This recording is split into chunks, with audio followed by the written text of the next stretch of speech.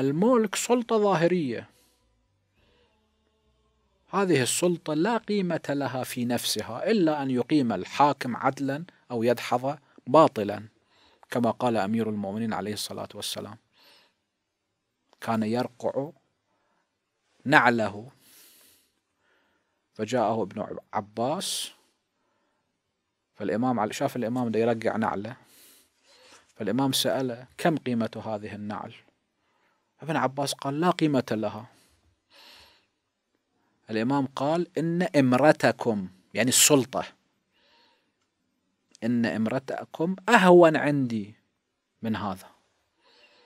في حديث آخر قال من أهون من عراق خنزير في يد مجذوم يعني العظم الذي قد أكل لحمه وبقي عليه شيء قليل.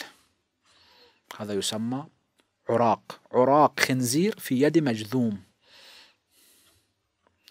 في الخطبة الشقشقية الإمام يقول وإن دنياكم هذه أزهد عندي من عفطة عنز.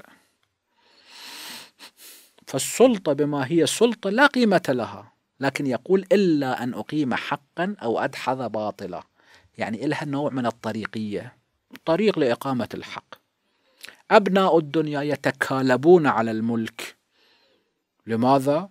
لأنه السلطة أهم شهوة في الإنسان أقوى من الشهوات الأخرى. قال هارون لابنه المأموم لابنه المأمون لو نازعتني في الملك لأخذت الذي فيه عيناك. الملك أهم عنده من ابنه. إذا ابنه نازع في الملك يقطع عنقه. لكن بالنسبة إلى أولياء الله سبحانه وتعالى الملك ما له قيمة إلا أن يقيموا حقا أو يدحضوا باطلا.